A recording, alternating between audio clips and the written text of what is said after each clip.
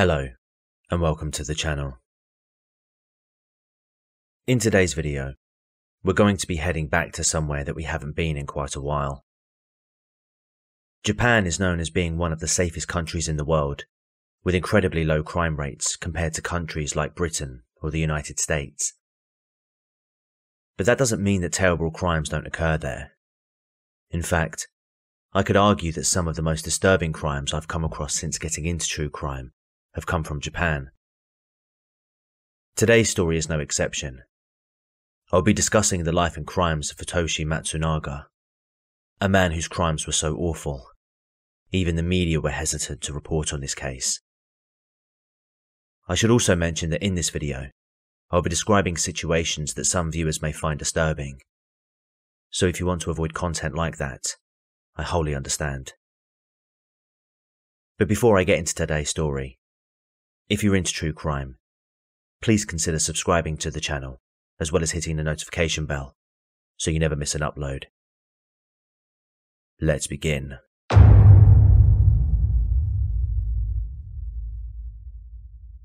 Futoshi Matsunaga was born on the 28th of April 1961 in Kokurakita ward of the city of Kitakyushu in Fukuoka prefecture. As a child, he performed well in school, earning good grades. He was said to be a charming yet odd child and had behavioral issues when it came to authority figures.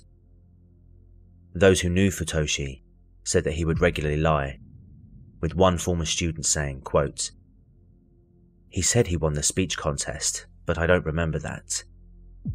He also pushed out the captain of the club activities team because he wanted to be captain he wasn't a team player and was quite strange.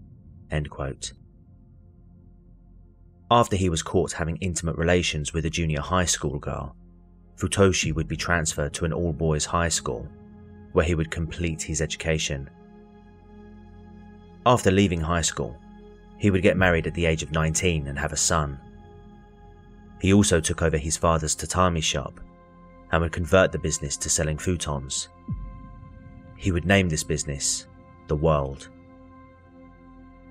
On the surface, Futoshi seemed to lead a normal life, but underneath there was a monster brewing. This monster would eventually come to the surface, changing countless lives.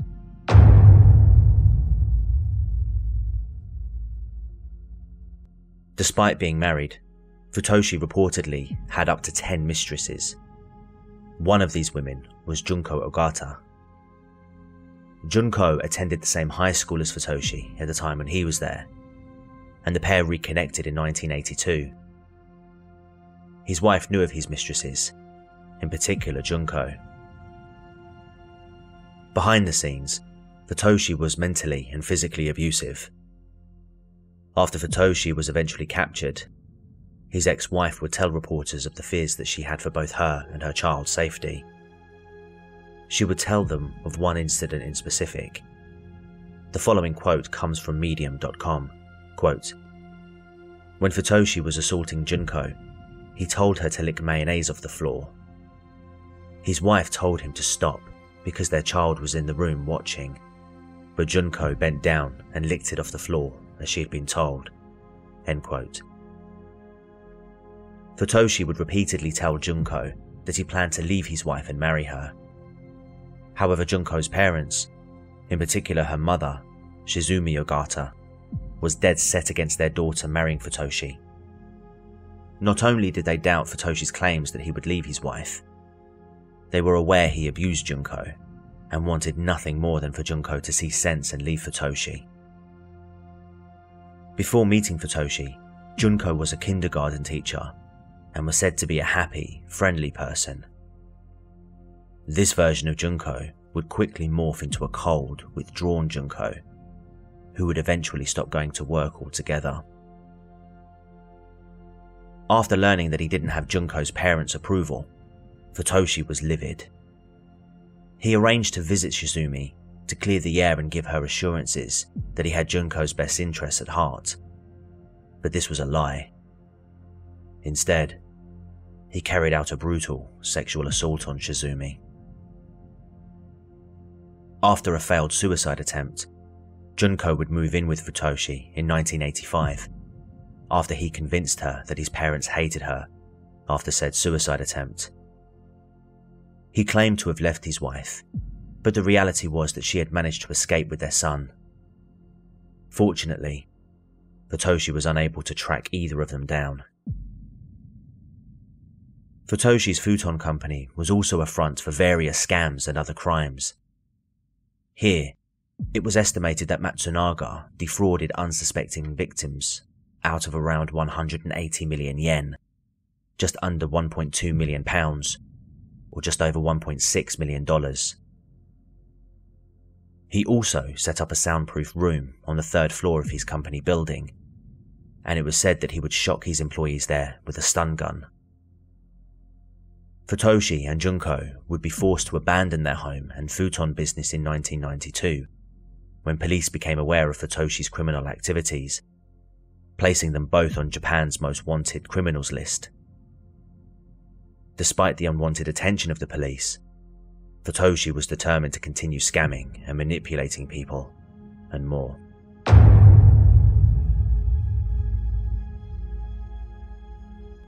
In 1993, Futoshi, now using a pseudonym, met a married woman who had three children. Using his charm and wits, he convinced the woman that Junko was his sister. In April 1993, after seducing the woman, he convinced her to leave her husband and move in with him and Junko. She also took her three children. By September 1993, one of the children died under mysterious circumstances. The other two children would go to live with their father and grandfather shortly after, in October of that same year. But by March the following year, the woman Futoshi had promised to marry had also died under mysterious circumstances. This woman had left 11.8 million yen to Futoshi and nothing to her own children. Police investigated, but were unable to link the deaths to Futoshi or Junko. Some sources state that feces were ingested by both the child and woman shortly before their deaths. But police couldn't tie this to Futoshi, as he refused to supply a stool sample, and police had insufficient evidence to demand one from him if he was responsible for their premature deaths. He had gotten away with it. Futoshi, feeling confident after his latest scam, was ready to find another victim to leech off of. Eventually, he would get the chance when he befriended a man by the name of Kumio Toriya.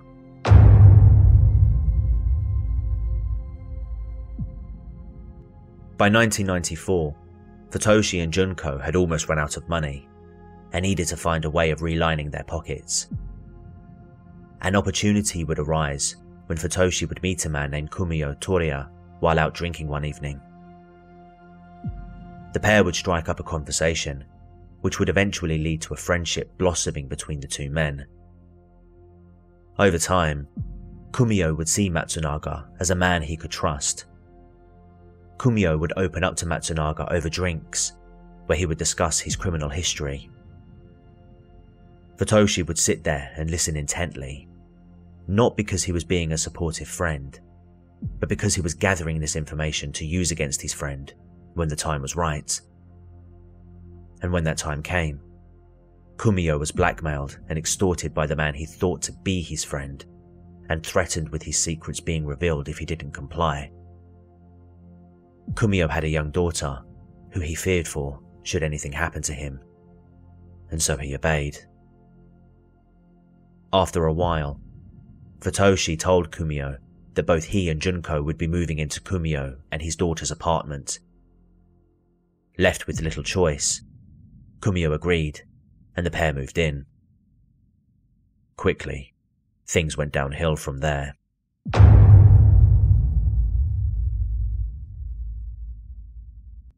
Immediately after moving in, Futoshi and Junko confined Kumio and his daughter to their home. Over the next two years, both Kumio and his daughter would be treated in the most humiliating ways imaginable. Some of the depraved acts the pair were forced to endure were as follows. Kumio would receive electric shocks all over his body, resulting in him developing scabs all over. He would be forced to eat any of these, should they fall onto the floor. He would also be placed into a cage and shocked repeatedly, to the point where he would be unable to lift his arms or legs. Both Kumio and his daughter were malnourished, only being fed a bowl of rice or ramen once per day and only given a short amount of time to eat. They were restricted to just three hours sleep a night. During this time, Kumio's daughter was still allowed to attend school, but understandably, her grades would be impacted negatively. While at school, Kumio was forced to stand in the bathroom all day until she returned home. If he failed to stand all day, he'd be severely beaten. They could only urinate in plastic bottles and were only allowed to use the toilet once a day.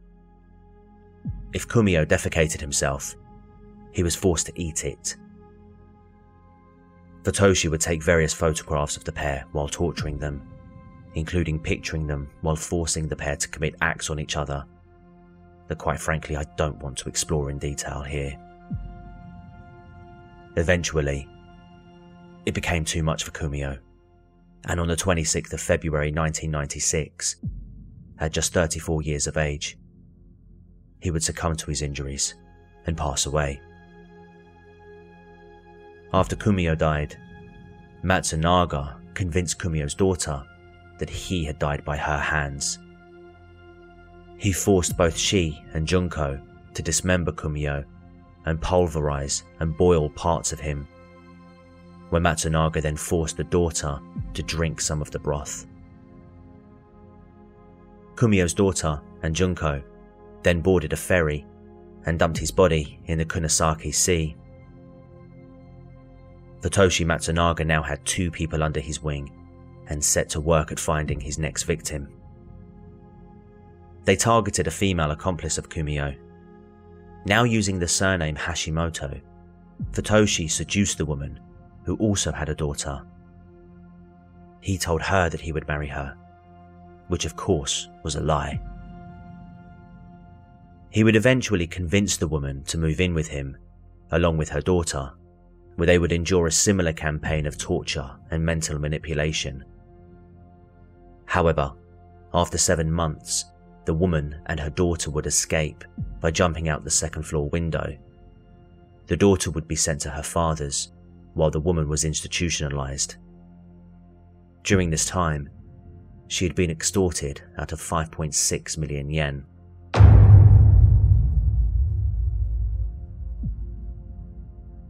After this incident, Junko began to have second thoughts about her relationship with Futoshi. While Kumio's daughter was not allowed to leave the apartment, Junko was allowed to leave in order to go to work. One day, Junko left the apartment for work and didn't return. When Futoshi Matsunaga realized that Junko, a woman he considered to be her property, had fled, he was enraged. He contacted Shizumi, demanding to know where Junko was. Shizumi told Futoshi that she didn't know, and even if she did, she wouldn't tell him. Futoshi then told Shizumi about the murder of Kumio and threatened to go to the police if she didn't tell him where Junko was. Shizumi, however, held firm and said nothing. Realizing he wasn't going to get the information he needed, he decided instead to hatch a plan in order to smoke out Junko from wherever she was hiding. Futoshi had leaked out information suggesting that he had committed suicide and even planned his own funeral to make the idea he took his own life even more convincing. It worked. Junko, now believing that Futoshi was dead, was comfortable enough to return to her family home. However, soon after arriving, there was a knock at the door. When the Ogatas opened the door, there was Futoshi Matsunaga and Kumio's daughter. Futoshi had been staking out the home, waiting for Junko to return. Junko's father Takashige and Shizumi pleaded with Futoshi to leave their daughter alone and even offered to pay him 63 million yen in an attempt to get Futoshi to leave. Futoshi agreed to take the money, but when the time came for him to fulfill his end of the bargain, he reneged and instead held the Ogata family captive.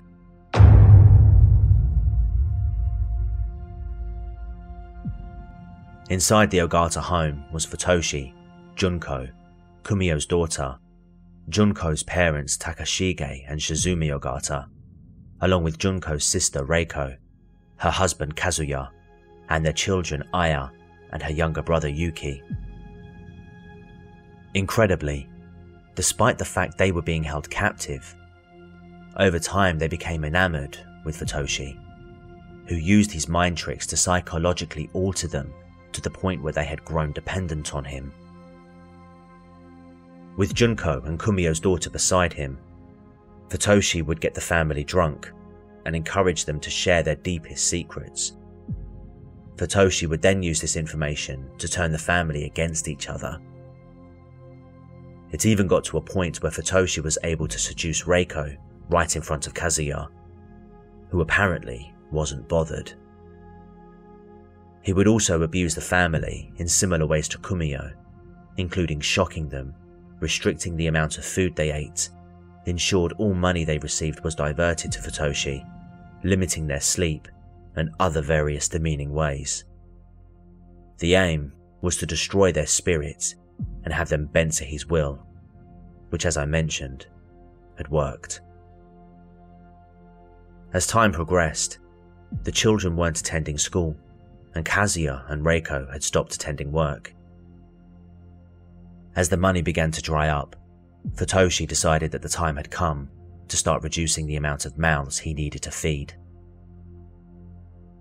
Futoshi had decided that Takashige's time had now come. Futoshi had grown irritated with Takashige, who, sometime into the ordeal, had escaped and fled to a local police station. When they arrived to investigate, Futoshi Matsunaga was able to convince the officers that Takashige was suffering from dementia and even showed the officers the room where they kept him, explaining that it was set up the way it was for his own protection. After apologizing to the officers for the inconvenience, Futoshi offered to make a sizable donation to the police pension fund. I'm unsure if this offer was accepted, but the police never came back. On the 21st of December 1997, five months into the family's captivity, Futoshi Matsunaga convinced Junko to end the life of her own father.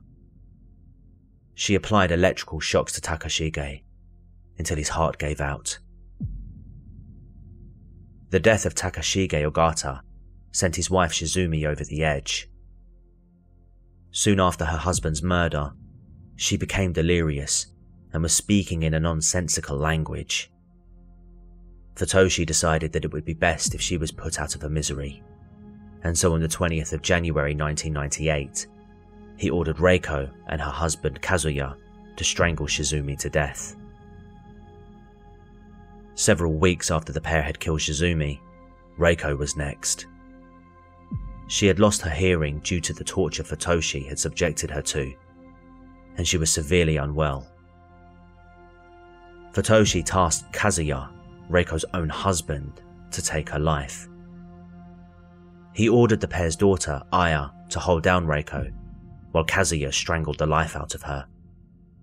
Afterwards, Kazuya said, so it's come to this. I've killed my own wife. Kazuya himself would then be immediately locked in the bathroom, where he would starve to death around a month later, on the 13th of April 1998. Concerned that if he kept the children alive, they may grow up and seek revenge. Therefore, Futoshi had sickeningly decided that they must too perish. Futoshi first spoke with Aya, where he convinced her to take the life of her own brother. Aya told Yuki that she was taking him to be with their mother. And so, along with Junko, she and Aya strangled Yuki to death. He was just five years old. Aya would then be starved and demoralized to the point where she was then asked if she wanted to die. She allegedly nodded yes. And on the 7th of June 1998, 10 year old Aya would be the last person killed, this time by Junko and Kumio's daughter. She was also strangled.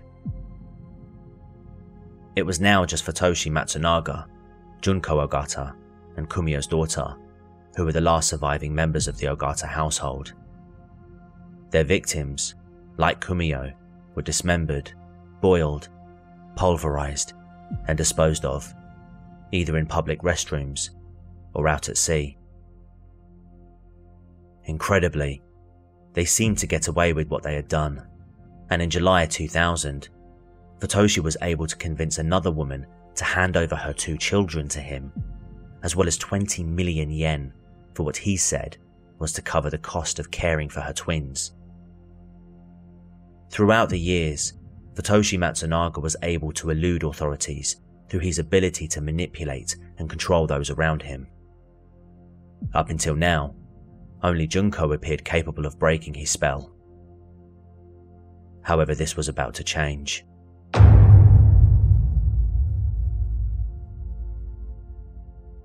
Unlike Junko, Kumio's daughter was never a willing participant in Futoshi and Junko's crimes. She was just a young girl and scared for her life. But now 17 years old, and after eight years of captivity, she was ready to break free. Her first attempt at freedom took place on the 30th of January 2002. Worried that she might be the next victim of Futoshi and Junko, she fled to her grandparents' home but didn't tell them anything that she had endured, instead, telling them that she was on a business trip. Futoshi learned of Kumio's daughter's whereabouts after extracting the information from Kumio's own sister, who he had been seeing at the time. He retrieved her on the 15th of February 2002, but not before Kumio's daughter left a note to her grandparents begging for help and to not listen to Futoshi. Futoshi was outraged and both he and Junko tortured Kumio's daughter, electrocuting her, strangling her, and even pulling off her fingernails with pliers. But all this didn't deter Kumio's daughter. She would escape again to her grandparents, who this time contacted the police. The following day, March 7, 2002, Futoshi Matsunaga and Junko Ogata were tracked down and arrested the media initially reported on just the kidnapping of Kumio's daughter, but as more details were leaked, they slowly began to withdraw from reporting all the facts, seemingly because even this was way too much for them.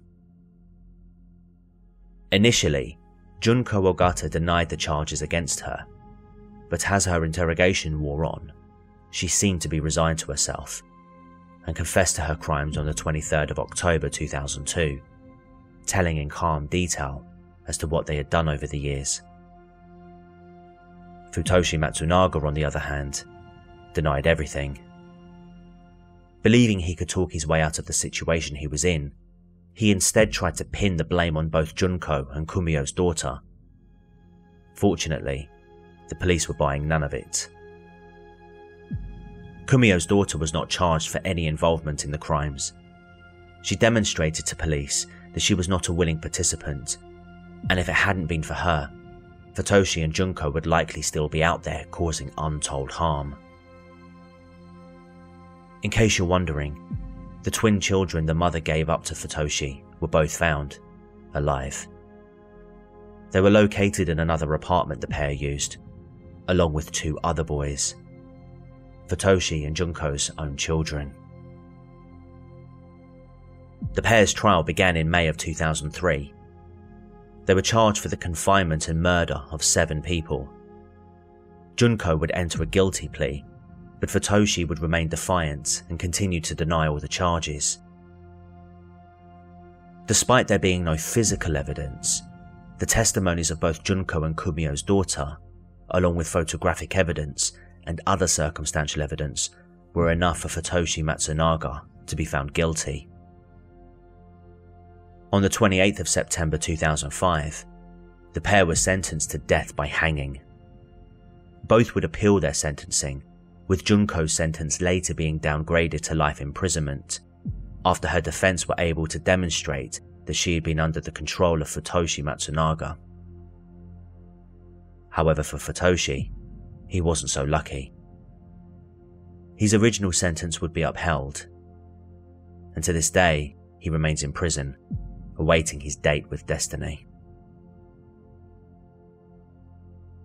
This case isn't just shocking, but it's one of the most abhorrent examples of how manipulative individuals can control those around them.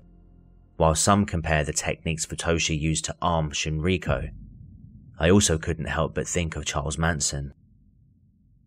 It's notable that Futoshi never actually got his hands dirty, but he was definitely responsible for the deaths of his victims. This was one of the most chilling cases I've ever covered and I truly hope nothing like this happens again. Thank you for watching the video. If you found this video informative, please consider subscribing to the channel, as well as hitting the notification bell so you never miss an upload. Until next time, take care, and goodbye. For now.